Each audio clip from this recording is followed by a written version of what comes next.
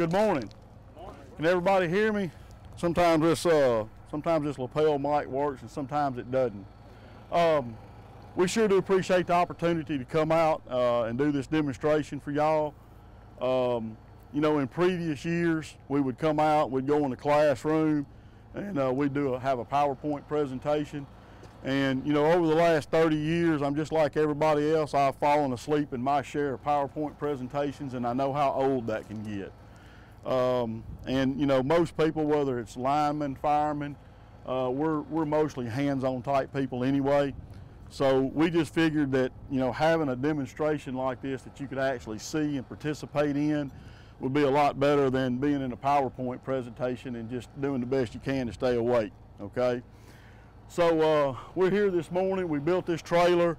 Um, it's been in service uh, for a couple of months. So not only is this a training session for y'all, it's a training session for us as well. And I can tell you that in the future, there's going to be a lot bigger and better things that we're going to do with this demonstration trailer. Some of those are just uh, being tested right now to make sure that we can do it safely, okay? Uh, with that, uh, the reason we're here this morning, number one is safety our safety, y'all safety, and to make sure that at the end of the day that we all go home to the ones that we love and to the ones that love us. Bottom line, that's what this is all about. And there's no better group that knows that than this group right here. Uh, I want to tell y'all just a little bit about uh, how we're powering this thing. With most groups, we do not get into this much detail, but we're going to get into a lot of detail with y'all. We're going to cover some basic electricity. We're going to go over the different equipment. Um, and then we're going to uh, have a few demonstrations to uh, show y'all the potential that y'all face when you go out on the job. And uh, we hope everything works properly. Uh, but just keep in mind, like I said, this is a training session for us just as much as it is y'all. So we'll start obviously with the generator in the back of the truck. Um, something that we face many times uh, while we're working, and y'all as well, uh, whether it's an ice storm, whether it's a tornado, whether the power's out. Somebody just wants y'all to come out there because they've got some type of oxygen mask or some type of device that they need to run. Uh, we really want y'all to see what a generator will really do. Okay? Uh, that generator uh, for us in this demonstration is like a power plant. Northcentral buys all of its electricity from the Tennessee Valley Authority. Most people know it as TVA. That's the only people that we can buy power from. They generate that electricity in many different ways, whether it's a gas-fired plant, a coal-fired plant, a nuclear plant, a hydro plant. They do that generation in a lot of different ways, and they do it in the most economically feasible way for them. The cheaper they can generate it, the cheaper it is to us, the cheaper we can provide it to our members, okay?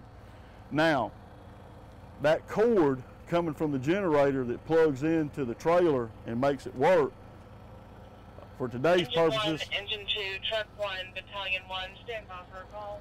For, for today's purposes, that's like a transmission line. So the really tall towers and the really tall poles that you see, that's transmission towers, okay? And that's what gets the power from the generating facility to our substations, okay? We don't generate anything. TVA generates all of that for us, okay? Now, this first transformer here, and I'm gonna let uh, Robert, if you don't mind getting that switch stick, I want you to point to some of these things. 1, engine 2, truck 1, battalion 1, respond for residential alarm, DB 47 Drive. Okay, this, this first pole right here, you'll see this transformer. Uh, this is an overhead pole-mounted transformer. Um, and we're going to use this. This is going to be like our substation. So the transmission lines, uh, they come from the power plant. Uh, it connects to our substations. And we step that electricity down from 161,000 volts to 14,400 volts. Okay? And a question that we get a lot of the times is why does the voltage have to be so high? Well, with this group, it is very easy to explain. And the way that they teach this in basic electricity classes and advanced electricity classes is just like you got a hose hooked to that pumper truck. And you're trying to get water 500 or 1,000 feet down the road. If you start out with a drip at the pumper truck, you're probably not going to get anything coming out of the other end. Electricity is the same exact way. If it started out at 500 volts at the substation and the substation or the generating facility is 250 miles away, we'll never see any of that electricity by the time it gets here. So they have to pump that electricity out. TVA does at about 65,000 volts. And then it goes from the generating facility into a step-up transformer that increases it to 161,000 volts or 500,000 volts. When we receive it, it is at 161,000 volts, okay? But that's the reason why the voltage has to be so high.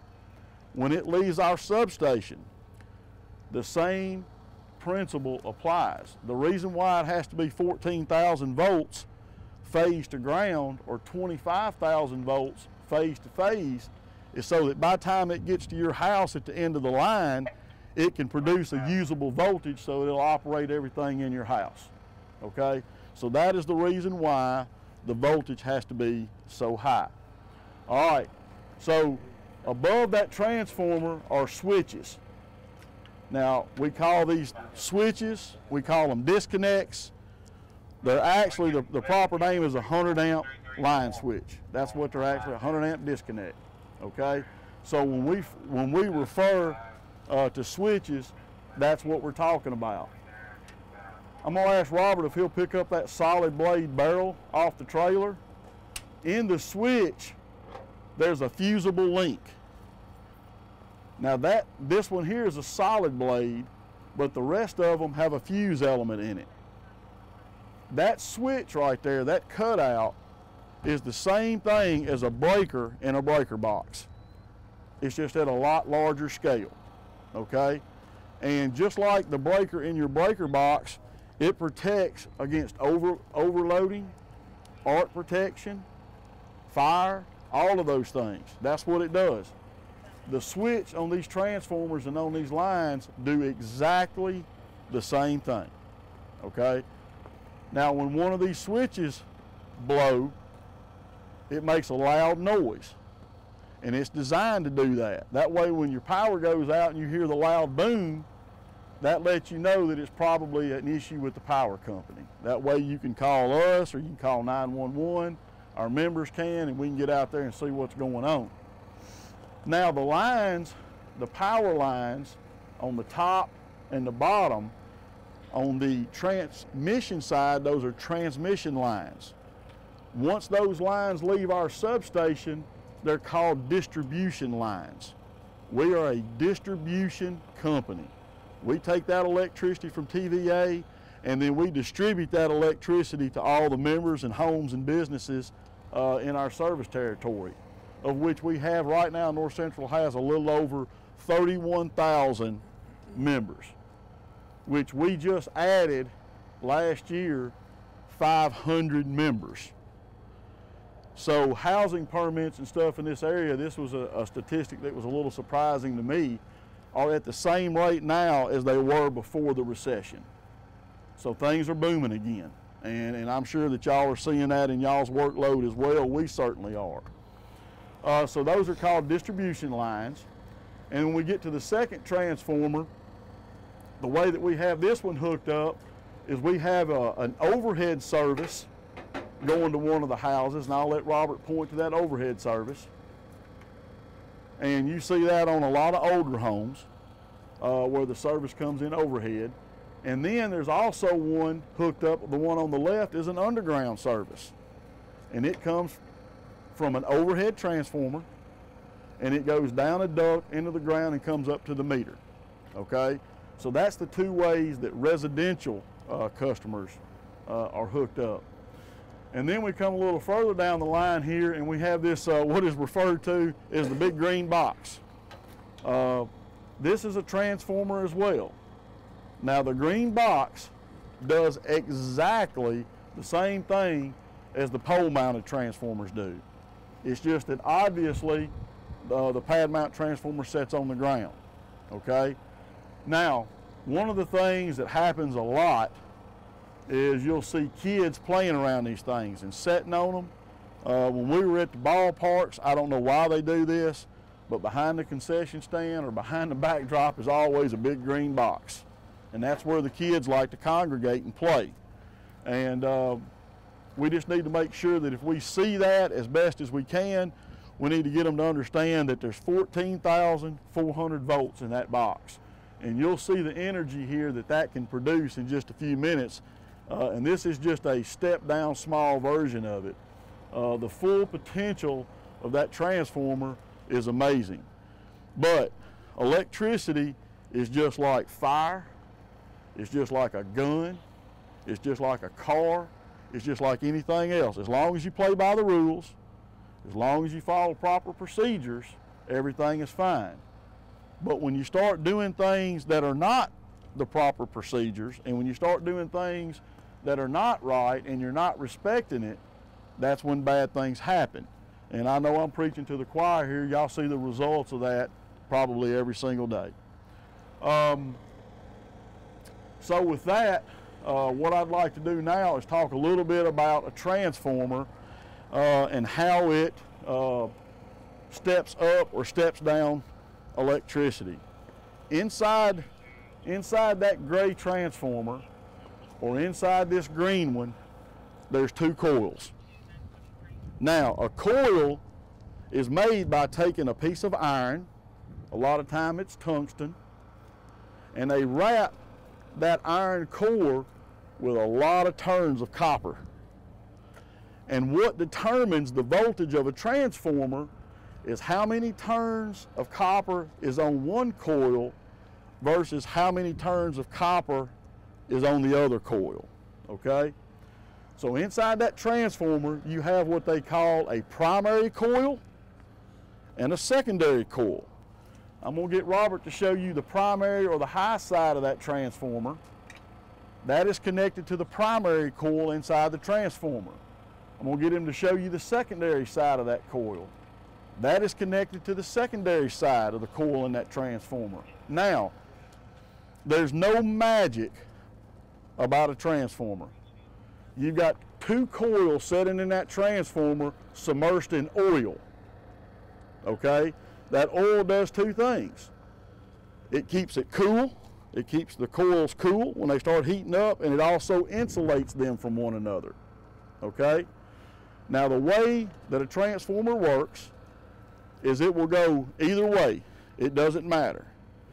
If you apply electricity to the primary coil, it's going to energize that coil. Now the primary coil and the secondary coil are not physically connected. There's no wire that goes between them. There's no magic that happens there. When you energize the primary coil, what does it produce?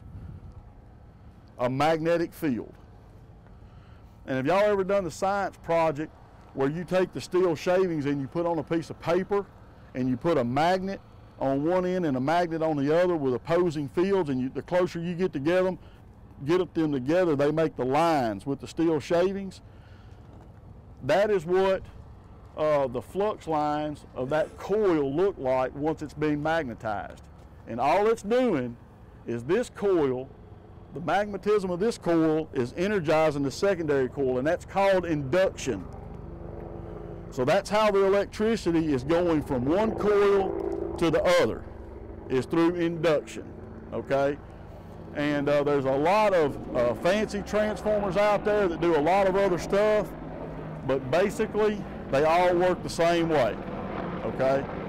Now inside those transformers uh, is oil, and that oil cools the transformer and it isolates or insulates the coils from one another uh, but any transformer that you see prior to 1980, if it was manufactured prior to 1980, there's a chance that it could have PCBs in the oil. And that's something that y'all should be concerned about. It's something that we should be concerned about because P PCBs have been shown to cause cancer. Okay? So when y'all show up out on the scene and the cars hit a pole and the transformer's leaking a bunch of oil, you don't know whether that transformer was made before 1980 or after 1980. So just keep that in your plan. When you show up on the scene and you're surveying everything, just keep that in mind that if there's oil everywhere and you get that on your shoes, your turnout gear, or on your clothes, then you're going to take it back to the station with you or you're going to take it home with you and then you're going to throw those clothes in the same laundry that you do with your with your family okay so that's why as best as you can if you see a bunch of oil on the ground uh, you need to avoid that if you can okay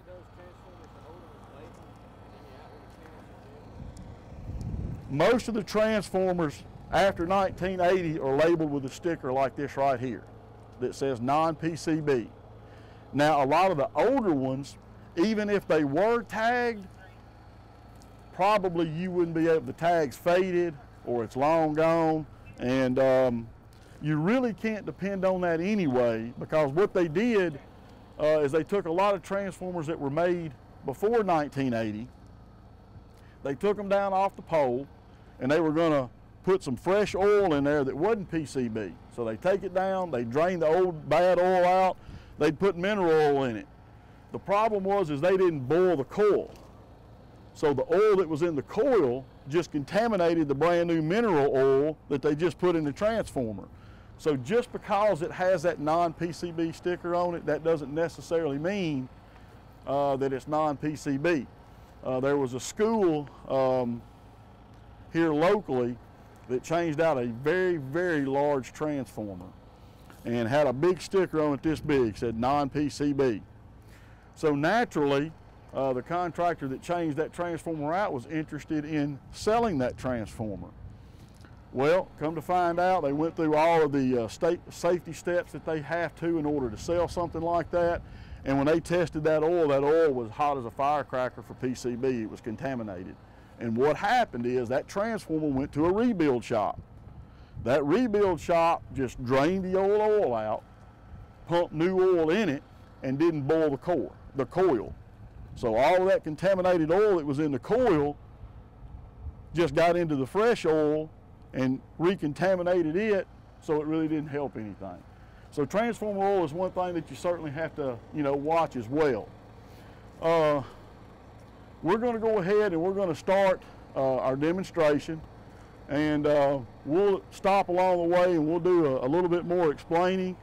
Uh, if y'all have any questions along the way, this is very informal.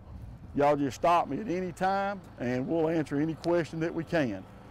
So at this time, remember, the transformer is producing 240 volts and it's going through a breaker box on our on our demonstration trailer and then you see where it's plugged into this first transformer here.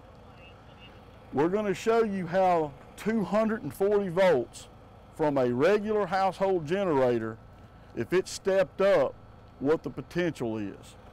So uh, Robert, if you don't mind, let's go ahead and put the solid blade uh, barrel in the high side of the transformer. All the grounds are removed. Uh, all the ladders and stuff are out of the way. and you can close it when you're ready.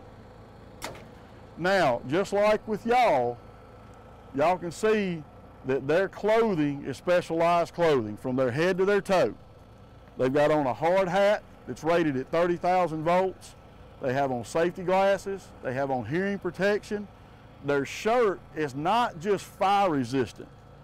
Uh, back around 1996 or so when all this stuff uh, started happening and um, all these standards started changing. At first, they just required uh, flame-resistant clothing. Well, what we have to wear now is called arc-resistant clothing, okay? And there's calculations that we have to follow that says depending on what the guys are working on, here's the exposure. And depending on what that exposure is, this is the amount of layers of clothes or the type of clothing that they have to have while they're doing that work. So their shirts are special, their blue jeans are, the boots they're wearing are EH rated boots. The boots that we wear, there's nothing in that boot conductive. Okay? That also helps to protect you about something we'll talk about later called step potential.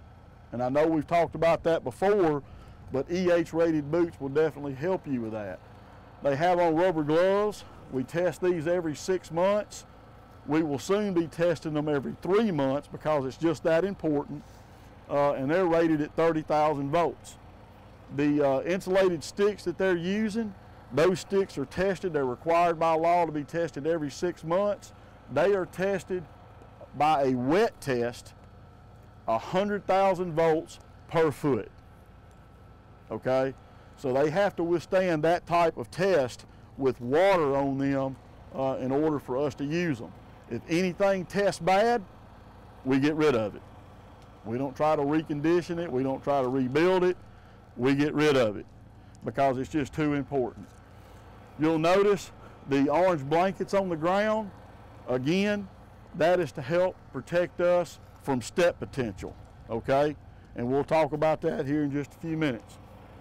So we got the first switch closed. Remember, there's 240 volts coming from the generator, and I'm going to ask Cliff if he'll take that tester and turn it on and put it at the top of that switch.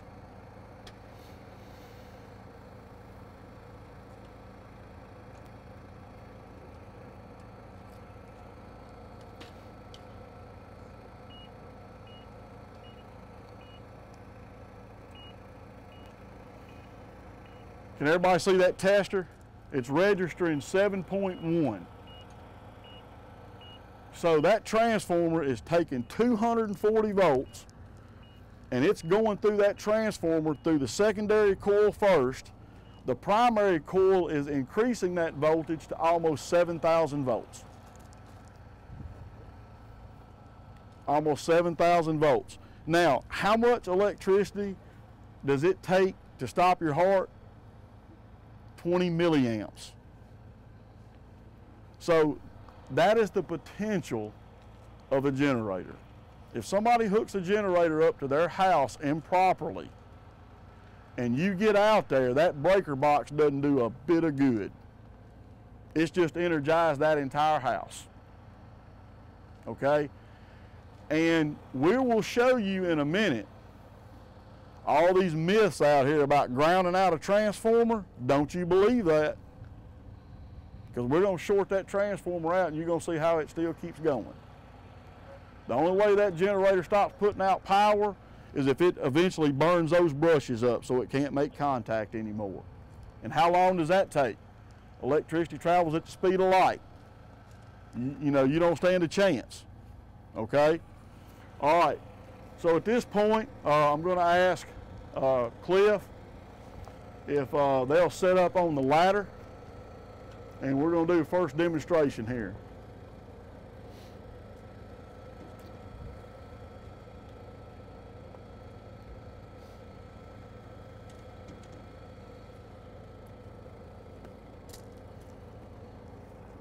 Now, when we're talking uh, to, to everyone else other than uh, firemen, obviously, when we talk about aluminum ladders, uh, we're talking about how they need to be careful when they're doing home improvement projects and stuff like that.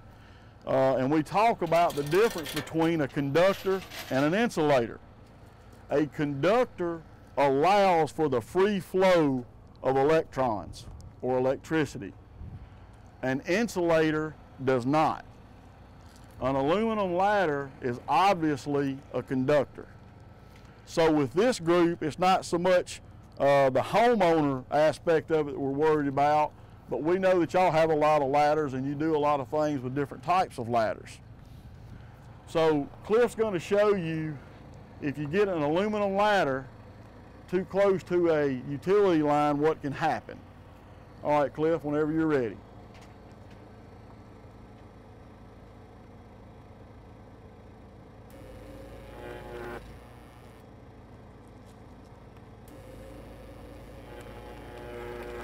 Okay? Now, y'all can go ahead and secure the ladder. Let's talk about that arc for a minute. An electrical arc like that can reach degrees of 35,000 degrees in the blink of an eye, less than the blink of an eye. 35,000 degrees is five times hotter than the surface of the sun. That's why we don't like to hear that sound And we don't like to see that arc. Because when that happens, that means somebody's work plan didn't go well. Okay? So if you're out on a job, whether you, you're using a big, tall 90, 100 foot ladder truck, or whether you have uh, something aluminum in your hand, anything conductive, when you get around a utility line, you need to remember that that is what the potential is. Okay? If you get it, if you get exposed to an arc like that, there's no clothing, there's nothing that's going to protect you. And in less time than it takes to blink your eye, it's not just going to burn your flesh, it's going to burn your bone.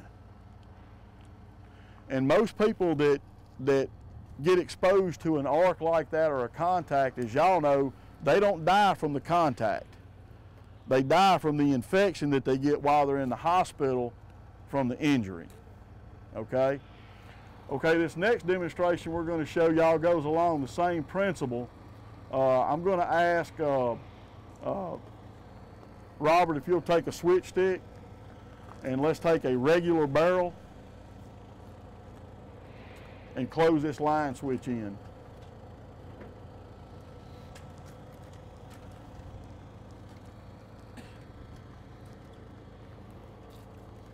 Line switch.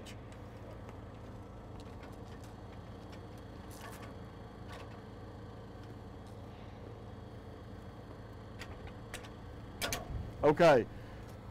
Now what Robert did there is he closed that switch in at first between the, the first pole and the second pole, that line was energized. The rest of it wasn't. When he closed that line switch in, it just made the entire uh, demonstration trailer energized, okay? All right.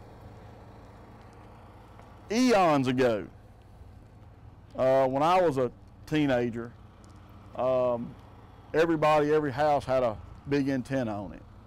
And it was almost like a competition with dads as to who could have the tallest antenna in the neighborhood.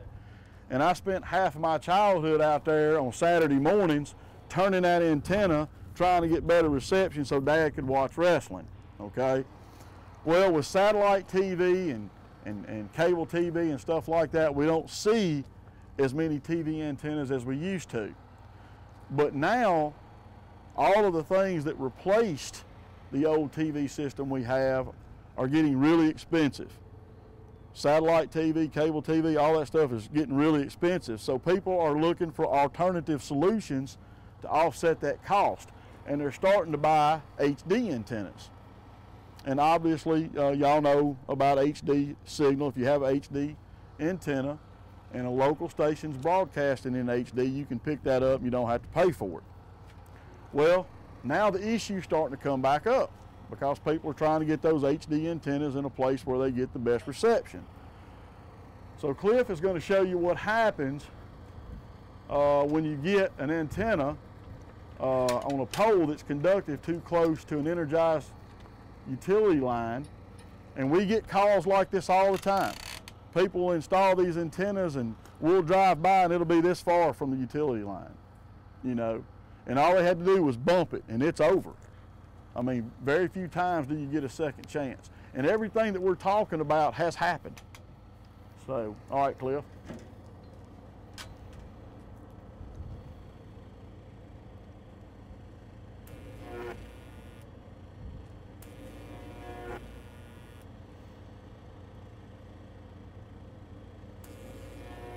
All right. So that just shows, um, you know, what can happen. Um, I was on a I was on a fire scene one night, and we got called out uh, to kill the electricity because a car had just hit a pole. And the ladder truck was setting a couple of poles down from where the car was at. So we pull up on the scene, and what the firemen didn't realize is when they had the car had hit the first pole, it had actually damaged the next two. So the circuit was energized. Firemen were sitting in the trucks waiting for us to do what we needed to do, and the pole that was beside their truck fell over. And those energized lines hit the top of that ladder truck. and it cut through that aluminum ladder just like a lightsaber in Star Wars would. Every electrical thing in that truck started popping and burning, and it completely destroyed that truck.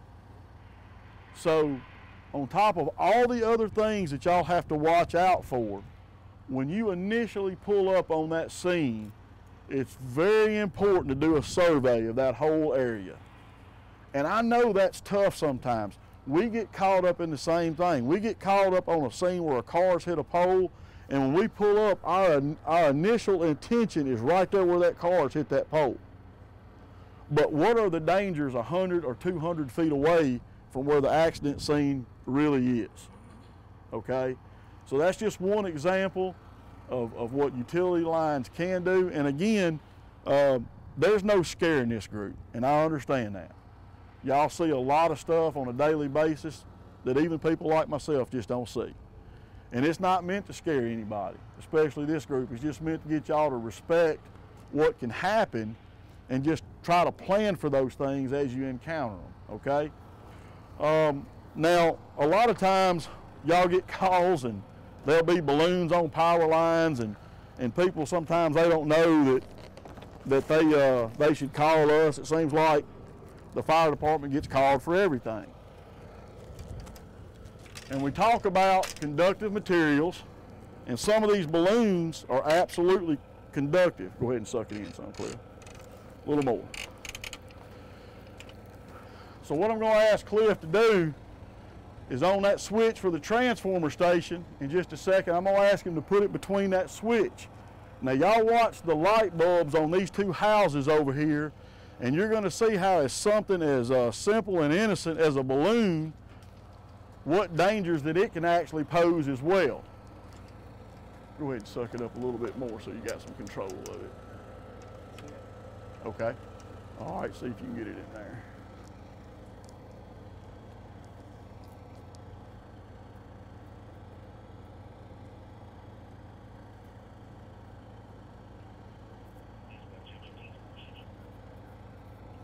not behaving.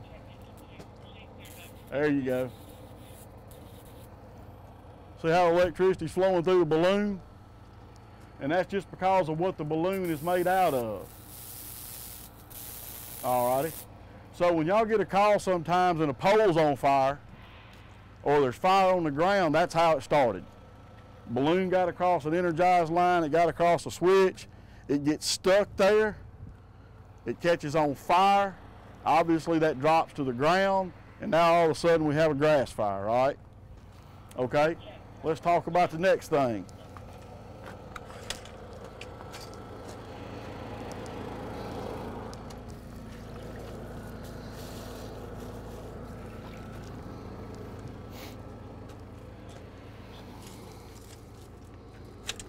Now obviously this time of year when we start getting storms, Y'all are going to get a lot of calls because trees have gotten in power lines and stuff like that. Now the lights are not going to glow as bright, but Cliff's to hold that across that switch and y'all watch the lights start to glow.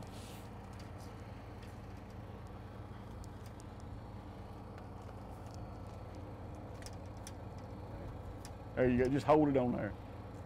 Okay, see they're not as bright. I don't know if you can see it glowing right there, but this is just to show, a lot of people don't think that electricity will flow through a tree branch, but it will. And especially if it's wet, okay?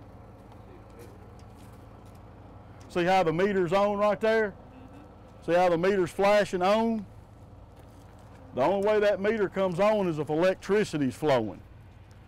So if y'all go out somewhere, okay Cliff, if you go out on a job or out on a, a, a scene and you see a tree limb that's on the utility line, if it's touching the utility line at the top of the branch, what's going on at the trunk? To some degree, electricity's flowing because electricity is very lazy and all it's doing is looking for the path of least resistance, okay? And when you're out there on the fire scene, I can tell you, you don't have to even think about this one, your body is the path of least resistance it's least resistant to anything else out there on that job. Okay? All right, with that, uh, I'd like to go ahead and let's open up the line switch. and take that barrel out.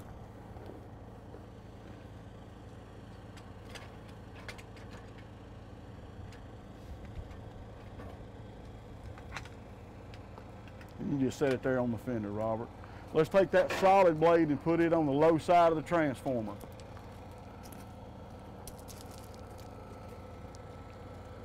Now, for safety reasons, what we're doing here is we're taking this switch off of the high side of the transformer and we're going to operate the next demonstration off the low side of the transformer. Because the next demonstration, if we did that off the high side of the transformer, you wouldn't be able to stand here right now. It's going to release that kind of energy, okay? All right,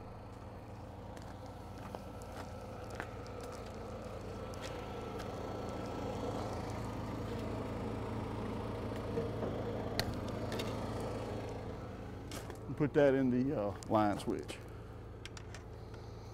Right here. No, in that line switch right there.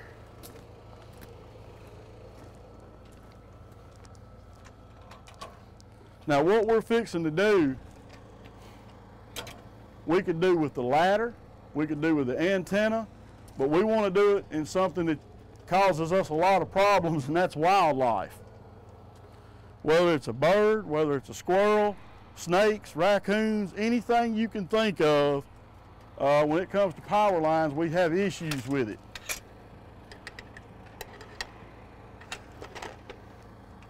Okay, Cliff, whenever you're ready. Now this is going, if it works properly, this should uh, make a little noise here. Now, that's 120 volts that we just crossed right there. Now I want you to put that in perspective if that had been 7,000 or like on our system if it had been 14,400. How many volts is in a meter socket? How many volts is in a meter socket? 240 volts. That was 120 volts. Okay? So now we're going to do a demonstration. This is the first time we've done this, so hopefully it'll work. Um, let me have that uh, little bird there.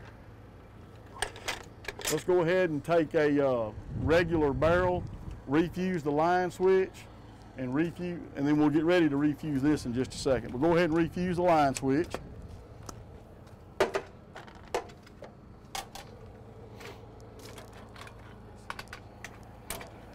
Okay, now take the uh, both the covers off of that meter socket right there.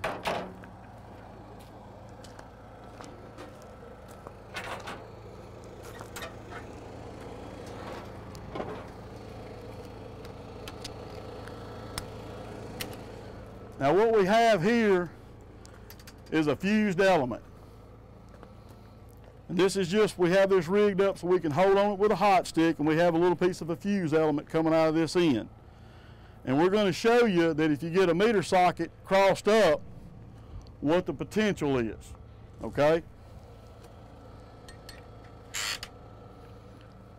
One of the top lugs to anything grounded.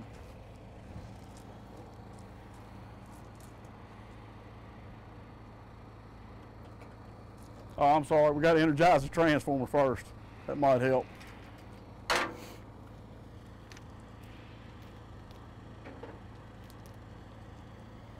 Now what we have here, we only do this for first responders. We don't do this around school kids. We don't do this for other groups. Y'all are the only group that we do this for.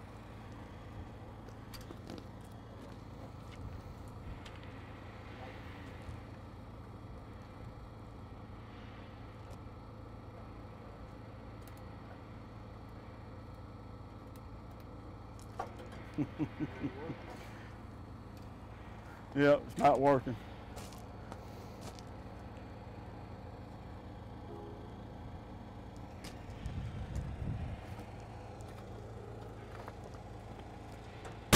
There it goes.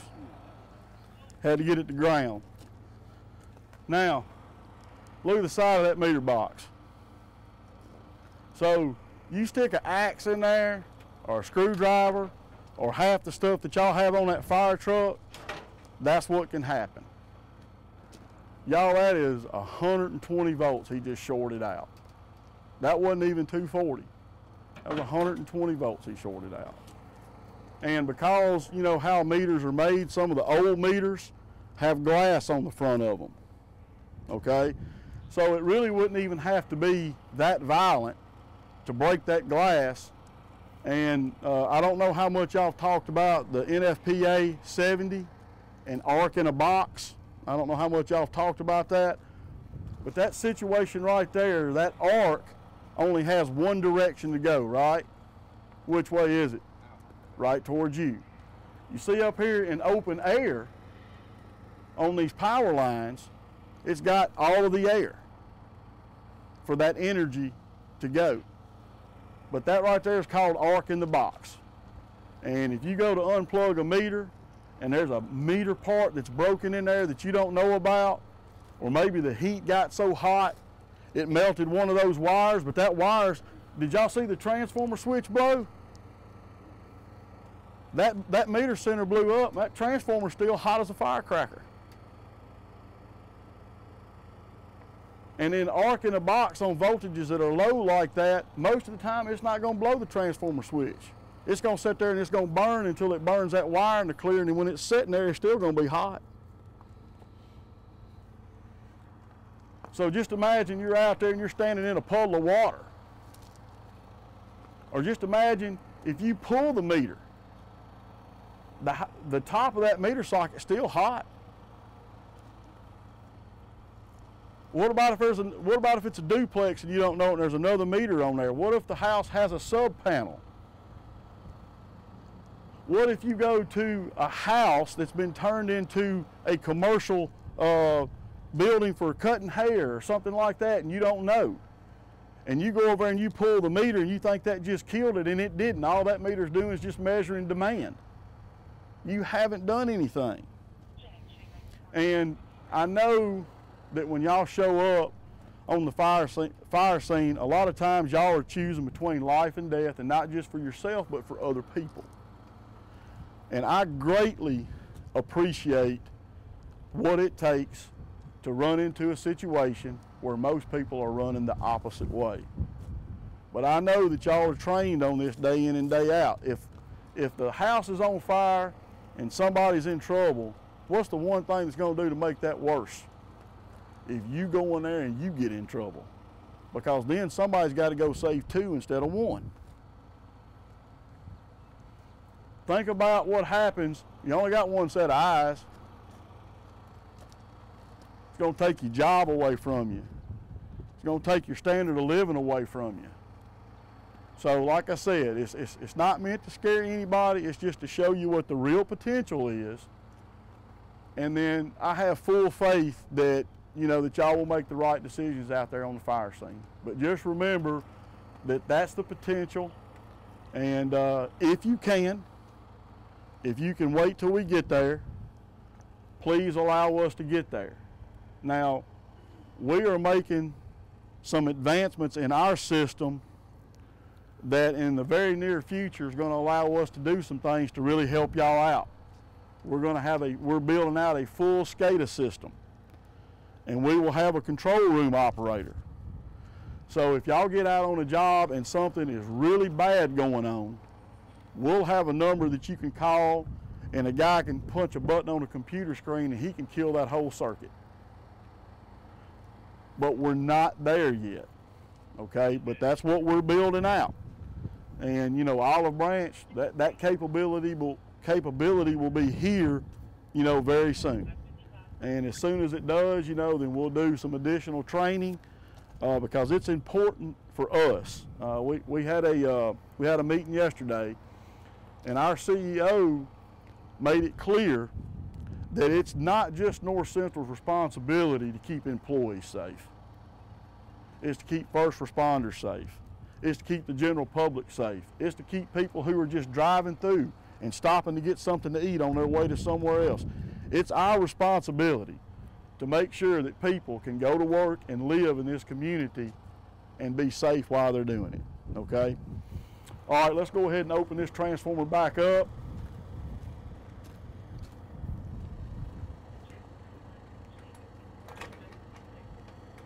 you take that barrel out.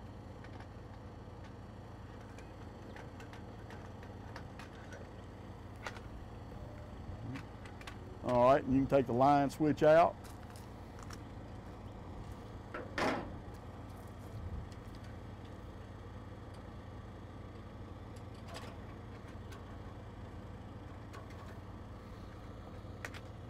All right, let's take the solid blade out.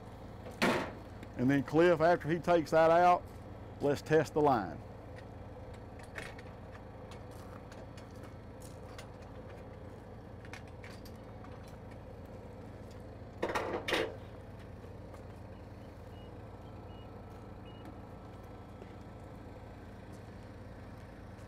All the switches are open. See how that's still picking up? So until a line is grounded, you can never assume just because that switch is open. Guy comes out there and he runs a stick up in the air, he yanks a switch open until it's grounded, you don't know for sure that it's completely dead. Okay? That's why our guys need to get out there and make the scene safe for y'all, okay? And like I said, I know there are a lot of difficult decisions to be made there that I don't encounter and that I probably don't understand. But when it comes to unplugging meters for firemen and working around, electricity, me trying to explain to y'all how to safely do that in an hour or a day or a week would be just like you telling me how to fight every fire you encounter in an hour or a day or a week. And we both know that's impossible. There are things on a fire scene that takes years to learn. And that's why experience is so important. It's the same way in what we do. When our guys go out on a scene, they may see something about that meter socket or that meter base that y'all just have never seen before or that you don't understand. So let's not let this, that trip us up, okay? All right, um, let's go ahead and turn the breaker to the transformer on and then let's, let's test the line again.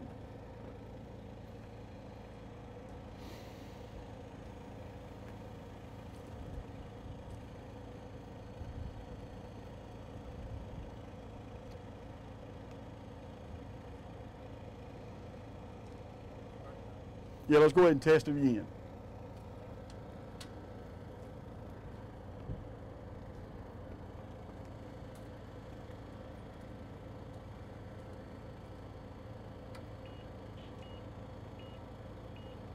Cut the right breaker on? Okay. Let's turn the generator off, Cliff. Now, the whole time that we've been talking about this, and y'all seen us, what we did at the meter base, you seen us blow the line switch. What's still running?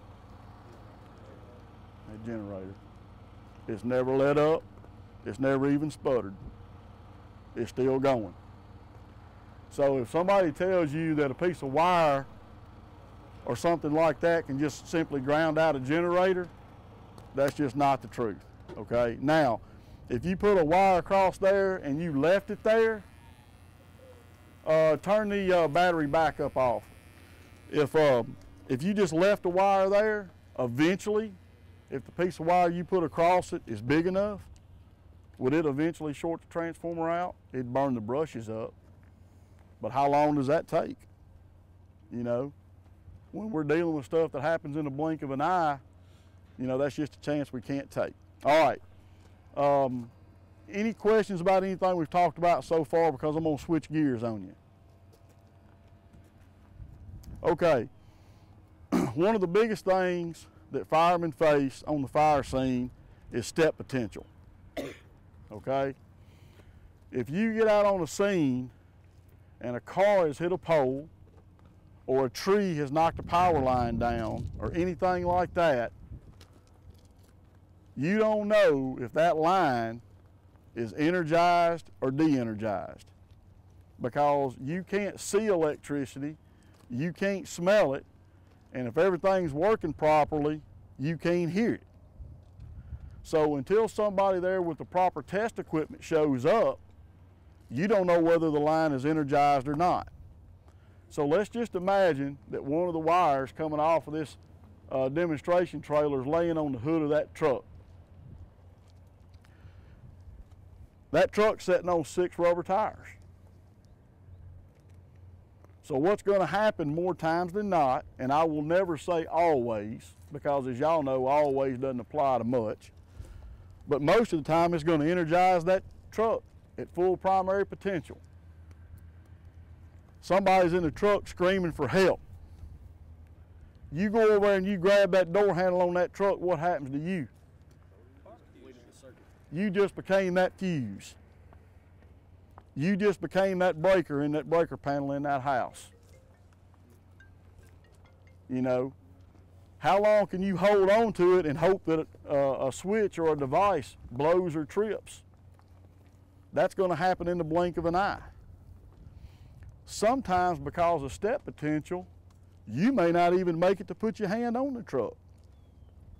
You say, how does that happen? Imagine that you take a rock and you throw it into a pond. It makes that ripple effect. And you got those rings in that pond. Well, you just imagine rings around that entire truck. The further you get away from the truck, the less voltage is going to be on the ground. But let's say 20 feet away from that truck, the voltage is 500 volts. But let's say you take a step and 18 feet away from that truck is at 1,000 volts. That's called a difference of potential. One foot is in a ring that's at 1,000, one foot is in a ring that's 500. Where's that difference of potential going? Right through your heart. takes 20 milliamps, as y'all know better than I, to kill you. I tell people all the time, and this won't impress y'all, it takes five batteries in an AED to get your heart back right. And you're talking about 7,000 volts. In the summertime, most of the circuits running up and down this road running at two, 300 amps. To put that in perspective, if you took uh, one of our utility lines energized at 14.4 with 200 amps behind it, you can't ground that line out you could grab it with a stick and you could put it to the ground, it'd burn forever. Until there's no more metal to burn, it'll keep burning.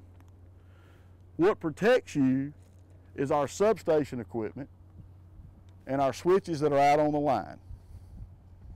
So if people try to talk to y'all about grounding a line out and stuff like that, do not believe that, okay? That's just how much power is there. So when you pull up on the fire scene and there's a car that's hit a pole, it's nighttime, you got lights going everywhere, sometimes your eyes play tricks on you. If you're not real careful, you'll walk right into a utility line with your head and you won't ever even know it. It happens a lot, y'all. It happens with our guys. You know, you go to a, a place where there's just been a hurricane come through or a tornado, earthquake, a lot of things, a lot of areas that y'all may be called to work in. You know, if there's power lines running everywhere, you know, that has to be dealt with first. Because y'all can't do your jobs properly if that's not taken care of first, okay? So make sure that you're looking around. If you see a power line on the ground, for goodness sake, stay away from it. You don't know how far out that step potential is going, okay? And remember, if you show up, somebody's in a car, lines on the car, and they're telling you and they're screaming the top of your lungs and you're trying your best to get them to stay in the vehicle, if, they just, if you just know that they're fixing to walk out of that vehicle, if you can, just get them to jump with their feet together as far away from that vehicle as you can. And then keep their feet together and bunny hop away from that vehicle. Because if you do your feet like this, you never know where that line's at. Okay? Any questions about step potential? All right. Any questions about anything we've talked about this morning? Well, we're really going to work uh, on some new demonstrations. Uh, the, the one that I hope to show y'all next time, we're actually going to energize a vehicle. and we're going to take a tester on a real long stick and we're going to put it on that vehicle and show you how it's still energized. But just like y'all don't want to do things in the training field that could get you hurt, we don't either. We want to make sure that we can do that safely. Uh, but that's just something that we're working on for next time, okay? Guys, I really do appreciate it. Thank y'all very much. Uh, I hope that's been better than a PowerPoint presentation that, um, you know, we're all trying to stay awake for. And uh, if y'all ever got any questions, please don't hesitate to ask. Um, you know, we'll come out and do this for schools, uh, any kind of, you know, civic group like that right there. If y'all know somebody that would like to see it, we'll be glad to do it. And uh, Dave knows how to get in touch with us. And I just appreciate uh, everything that y'all do for us. And I know that people don't tell y'all that enough. But believe me, uh, even in the crazy world that we live in today, there are people that appreciate greatly what y'all do for us. So with that, thank y'all, and uh, we'll see you. Thank you very much.